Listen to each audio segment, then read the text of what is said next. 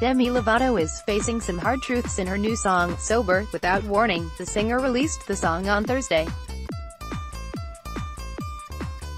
It seems to indicate she's relapsed after six years of sober living. Lovato has been open about her deeply personal struggles with drugs and alcohol. At the height of her fame as a Disney Channel star, in 2010, the pop star checked into rehab, where she was officially diagnosed with bipolar disorder and treated for addiction, self-harm and bulimia. Mama, I'm so sorry I'm not sober anymore. Daddy, please forgive me for the drinks spilled on the floor, she sings in the ballad's powerful chorus.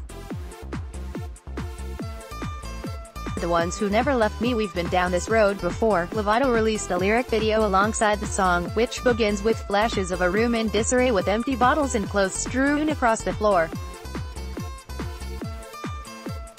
At one of her lowest points, Lovato heavily depended on cocaine to get her through the day, forcing her to take the drug everywhere she went, including airplanes. I wasn't working my program. I wasn't ready to get sober. I was sneaking it on planes, sneaking it in bathrooms, sneaking it throughout the night. Nobody knew, she revealed in her YouTube documentary, Simply Complicated.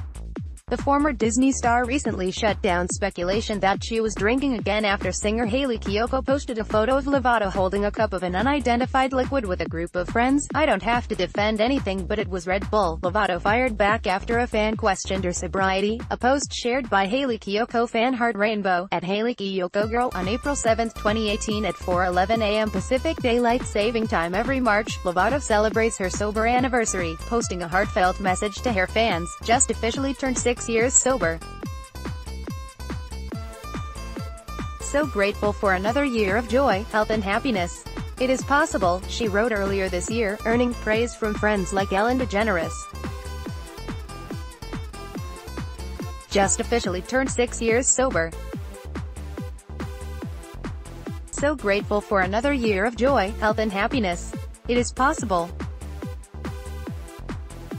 Folded hands medium light skin tone, Demi Lovato, at The Lovato, March 15, 2018 But her journey has not been without ups and downs. Lovato revealed that a terrible experience at the Met Gala in 2016 nearly drove her to drink. She texted her manager and then promptly attended an Alcoholics Anonymous meeting that same night. What keeps me on this path is there's a drive that I have to stay sober because I know that my life depends on it, Lovato told Entertainment Tonight last year. If I would have continued down that road, I don't know if I'd be here today. Download photo gallery Demi Lovato.